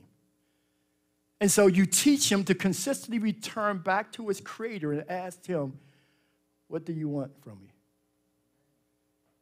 And before he tells you what he wants from you, he gives you what you need. So he takes your dry moments and fills you with what you need. And then he reminds you see, the earth is the Lord's, the fullness thereof, the world therein, and all that is in it is yours. And why are you so consumed with small thinking? You won't even go to the beach. You, you, you won't try nothing else. So your adventure becomes as small as your thinking. Instead of going back to the one who created you, who got all this imagination, he's like, Adam, look. What's that? Oh, what's that? Uh, oh, that's a pomegranate. I've never seen one of those before. Well, oh, that, that that's that's bananas. What? I can't find bananas at Kroger's. They're too high now. and, and, and when you return back to your Creator, thank you, sir, for direction, He's reminding you that you're dry and that's why you don't have direction. And you're trying to make direction with your life in a dry moment. And when you're trying to give your life direction when you're dry and you're in a drought, you're going to destroy your destiny. Because you don't even know right now that you're dry. And you're making decisions from a dry space in life. So, right from the beginning, it says the Lord God planted a garden in the east and he placed the man he formed. Now, he placed the man in the garden. Why did he place him there?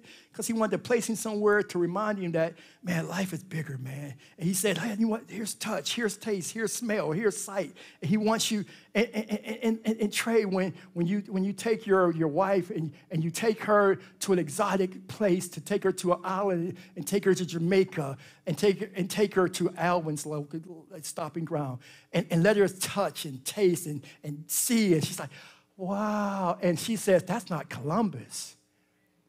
She says, amen, hallelujah, bless you, Jesus. And, and could it be that we've limited our ability to touch, taste, smell, see the adventure because we locked ourselves into a job so long that all we know is the job? And we forget that a job is just a mean to an end, but it's not the end. And what about the adventure? What about, what about the adventure? What about, what about Joe? I went, to Nairobi, I went to Nairobi, Kenya. I took Matt, I took Daryl, I took Rice, man, I took some of you with me. I went there five times. And when I went, the adventure, man, like, wow, man, some poor people. And I get a chance to bring some poor kids in my arms and, and, and, and touch them and look at them like, wow, I never saw so, so much poverty, so much pain, so much, and adventure made life the adventure. Mother Teresa left a job that was a teacher, and she said, I, I gotta go to Calcutta, India, and, and the adventure of, of taking dead babies in her arms and taking them to a proper grave, and some of those babies will never have a, a graveyard experience, and she took dead babies, the adventure of life, and she became a Nobel Prize winner because of the adventure not because she was a teacher. Her profession gave her profit, her adventure gave her influence. And there's places that you have to go and people you have to see. And they don't look like you, smell like you, act like you. And they don't even want to be you, but you're supposed to be there. So that you don't get bored and dry mouthed and dehydrated and then die. In this book, they tell you how many people die of dehydration a day. A day in America. And they say doctors would try to give you a pill to fix the pain instead of thinking and looking at the fact he's only dehydrated. And they can give you water to fix it. Instead of giving you water, they give you a pill, and you pop a pill instead of thinking about, I'm just dehydrated. Because you and I forget, I'm not the mistake.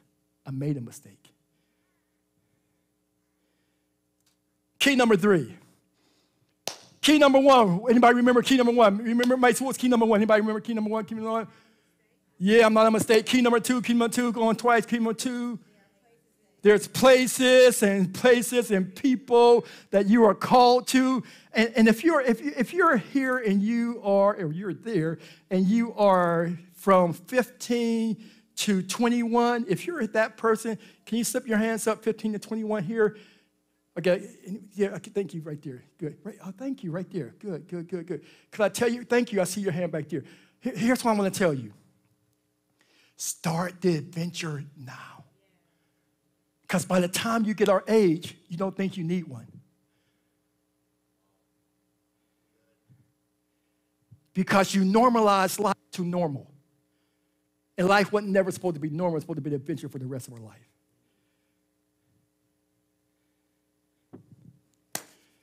Key number three man in his original state was put in a position of responsibility and stewardship, as well as having to learn how to maintain what was given to him. Believe it or not, it's a fact. Isn't it interesting in American culture, Joe, that we're one of the only cultures that, that have three layers before you become a man?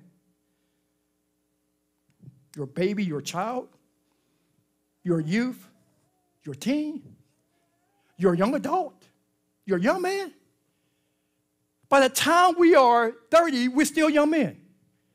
And in some churches, they don't even let you become a man till you're 50. You're in Sunday school, still doing child work. And how do you become a man when you don't give, give them responsibility? So, could I tell you, stop making up the bed for your males? They're 50, they can make their own bed.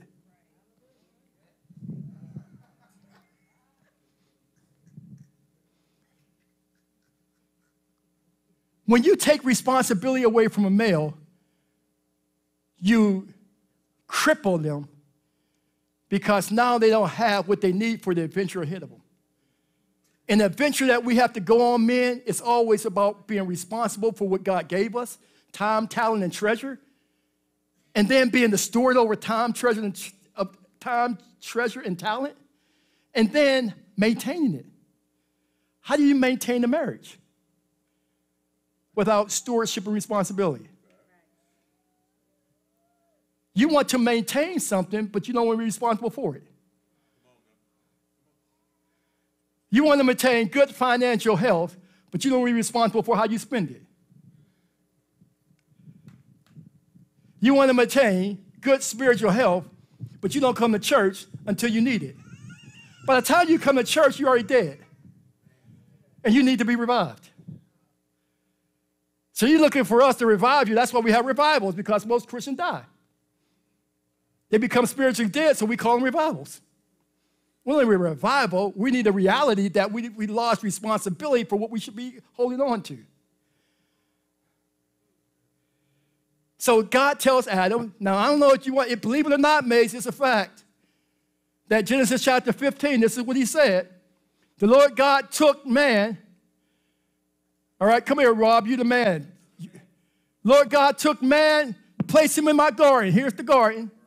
And he said, Work it. I'm tired of working for the man. Well, you ain't working for the man, you're working for the adventure in you. Because every adventure needs work. So you home sleeping instead of working. The more you sleep, the more you pull out the liquid in you, the life in you that keeps the adventure alive. So you retire and you die. Do you understand why so many people die with retirement? Because they have nothing to do. They lose the adventure of life. That's why I don't believe in retirement. My, that's my conviction. That's not the word of God. It's my conviction. I live my conviction. You live yours.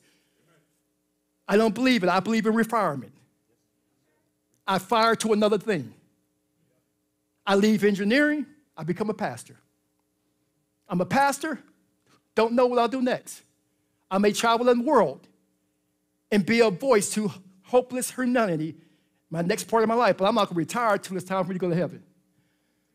Because that's called retirement. So, so, so Adam, work. So you work. Yeah, thank you, Adam. Thank you. Just make sure you give us 10%. And you don't even want to do that. Because when you try, you keep it to yourself. Because you don't know you, you don't think you have enough for you. Because you, don't have enough water. So you keep it to yourself.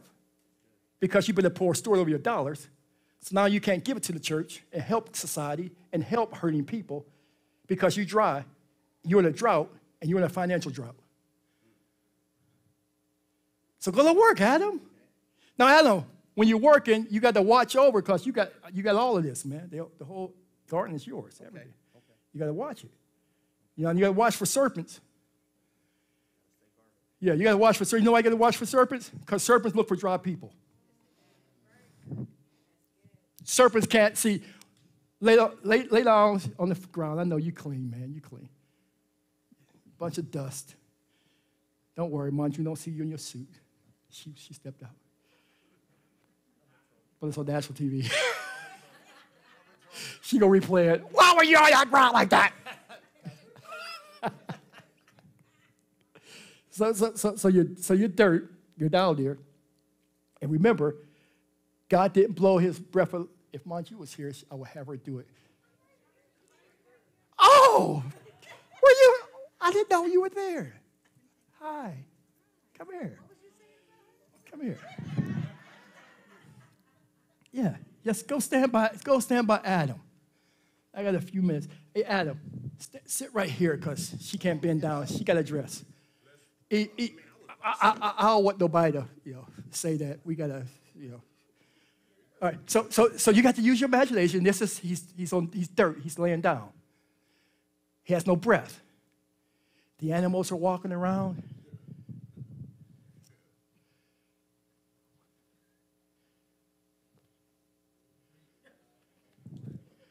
You know, excuse me. The monkey look at it. The giraffe the skunk.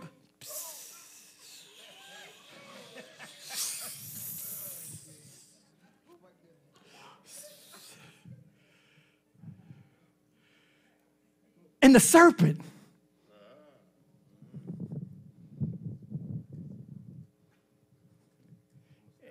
And the serpent says, He's protected. God's watching over him. It's his creation. And then God says, hey, we need to give it life. So go kiss your husband. All right, blow some of that life in him. Mouth. mouth. Woo! Took off. She just took off all of those. No. Back, back to the message. So now, now, remember what the Bible said, right? Now he becomes a living. Now, so what, what, the, what, did he, what, what came alive? His senses, his sight. So now I'm his creator. He start, God said, let me show you. See? And he said, what's that? Wow. Wow.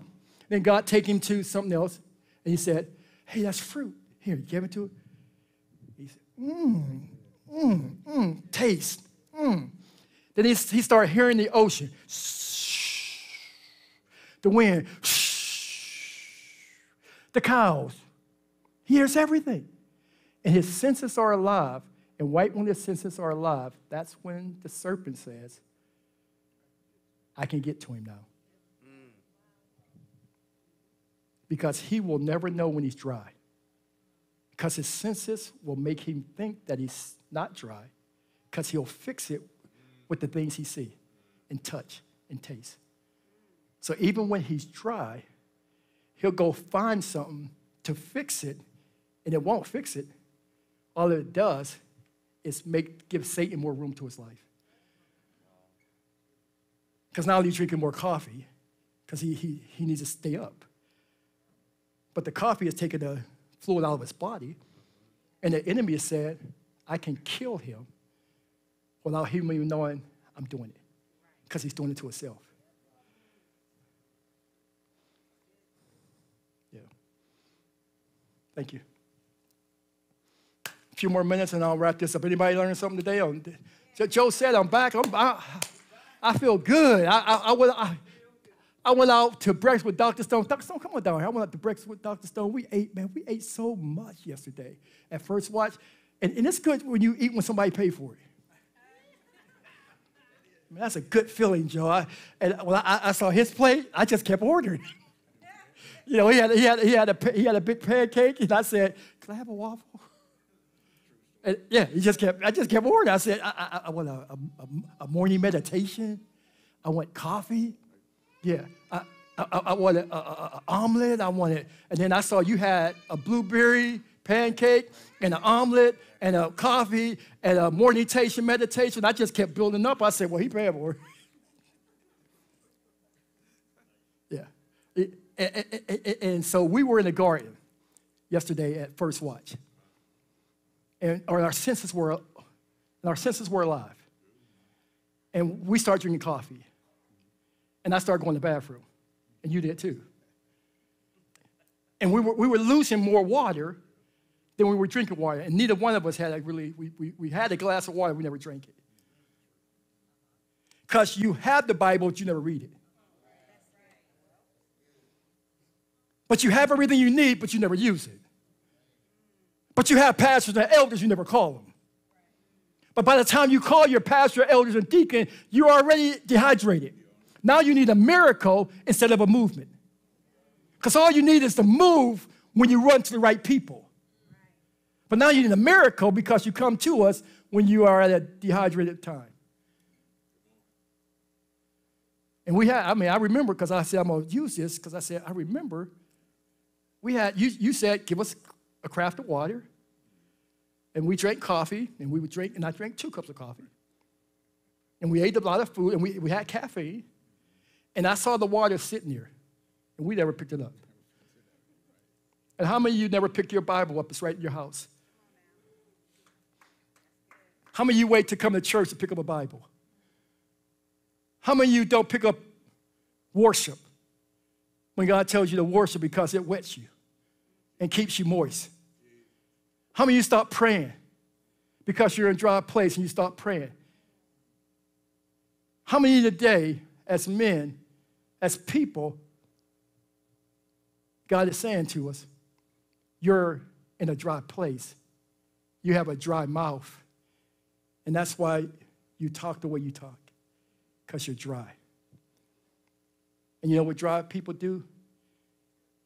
Hurt people. Thank you, sir. Give me a few more minutes. I'm going to wrap this up. If you learned something, you give me a few more minutes. Yep.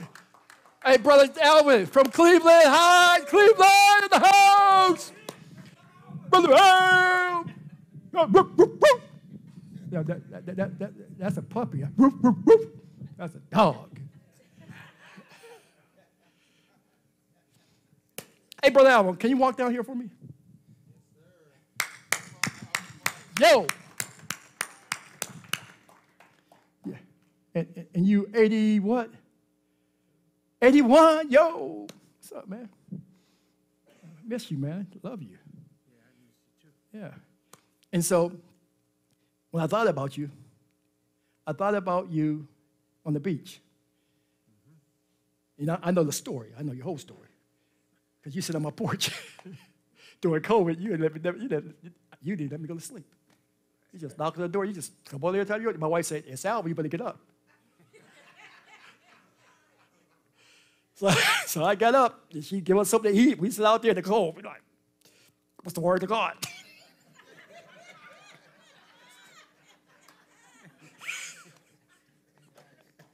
yeah.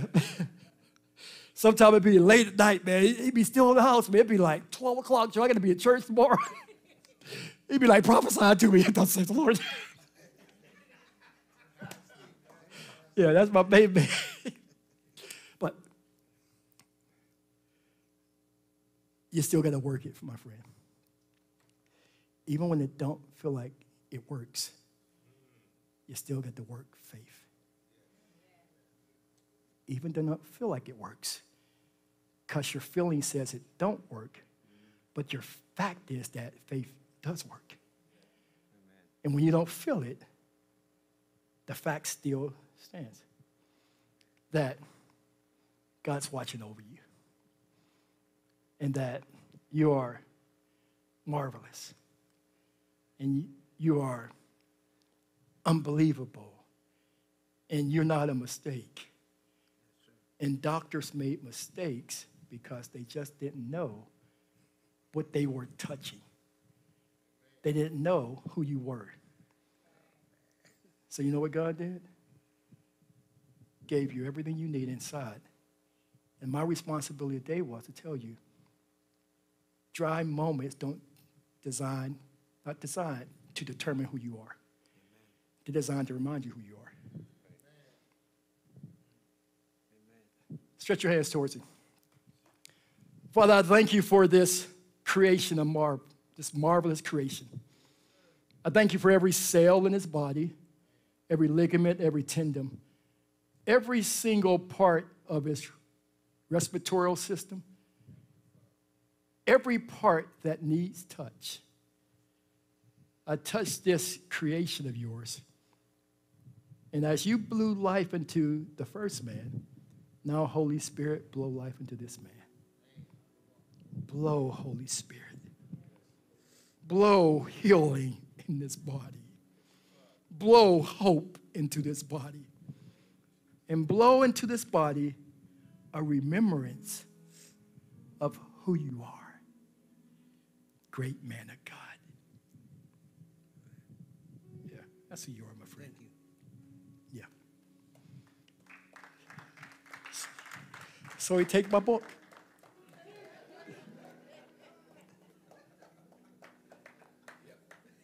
Yep, that's just the way it is.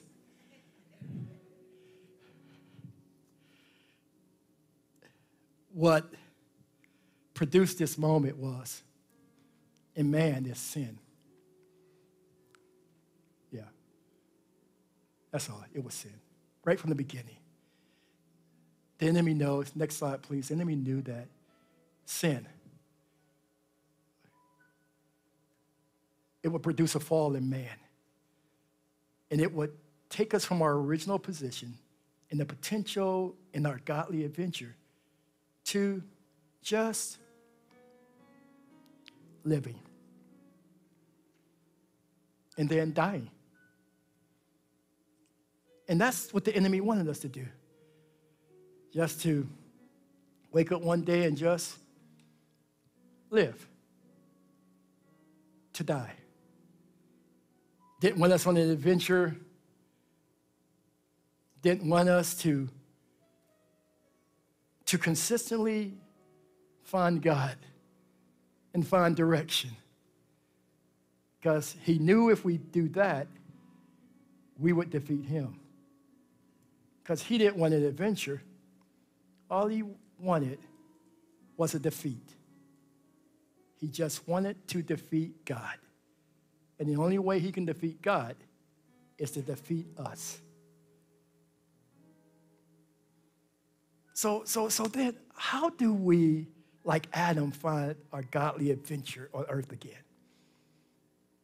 How do we get out those dry places? Number one, and number one is the most important fact I can give you today, is we have to believe in the Jesus of the scripture, not the Jesus of opinions, not the Jesus of cults, not the Jesus of the past, not the Jesus of people who wanted us to know the Jesus they knew, but the, the Jesus of the scripture. There are so many views about Jesus, but you, you,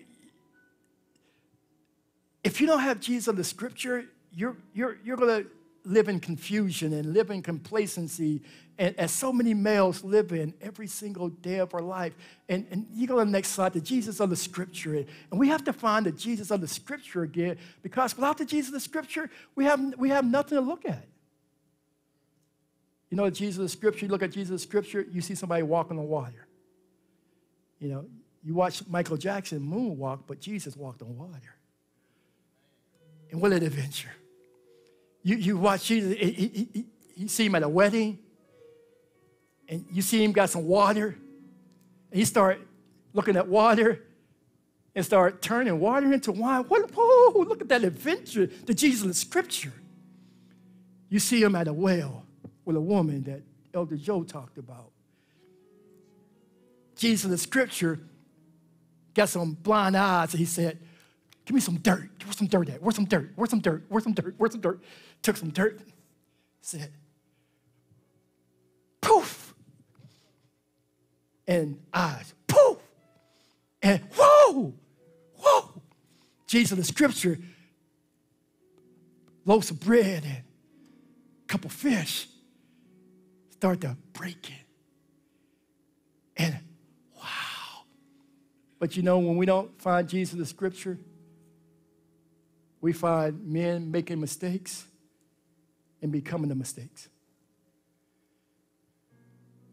And then we get dry again. But you know what keeps us from being dry? Finding Jesus of the scriptures that keeps life vibrant and alive. Jesus of the scripture. John 7 37, 8 said, On the last day, most important day of the festival, Jesus stood up and cried out, If anyone is thirsty, if anyone is thirsty, let him come to me. Why come to me? Because I'm the adventure. I'm the adventure. I'm the true adventure. Look at me. Look at me. Look at me. I'm Jesus. Look at me. I cast out demons. Look at me. I raised up the dead. Look at me. I drink. I turn water into wine. Look at me. Why keep looking at a dry world? Why try to find an adventure in the world that doesn't have one, that's dying? Why be as dry as the world that you live in? Look at me. Come to me. The one who believes in me as the scriptures have said will have streams of living water flowing from them. So, so we have to believe again. Look at the screen and look at the next text. Believe that there is surplus of living water and ability and potential and possibilities inside of you, men. Believe again that there's something in you. Greater is He that's in you than Him in the world. Believe that there's so much stuff in me that hasn't been seen yet. Believe in me, there's so much I got to do that I haven't done yet. It's not time for me to die yet. It's not time for me to be a young boy, young man at a party and someone shoots with recklessly shoot. It's not time for me to be the wrong place at the wrong time because that's not my adventure. It's not time for me to leave the planet yet when there's so much more in me. And I go where I'm destined to go and not just to be in another dry party another drive by. Because I'm in a dry place and I make dry decisions. The one who believes in me, as the scripture said, will have streams of living water flowing deep within him. For the online group, thank you so much for being with us today. And if you want the totality of, of this message, you can go and I'll get the information to you, but I gotta let you go. I understand. You're home. And this is all about one thing. If you're in a dry place, don't stay dry. Get help. Find Christ. Trust Christ. Live for Christ. And then find other people who are not dry. Because wise people hang with wise people, and dry people hang with dry people, and people who are not dry hang with undry people. See you next week at International Christian Center.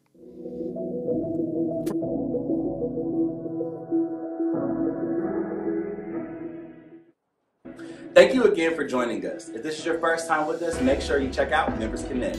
And don't forget, there are multiple ways to give, and here they are.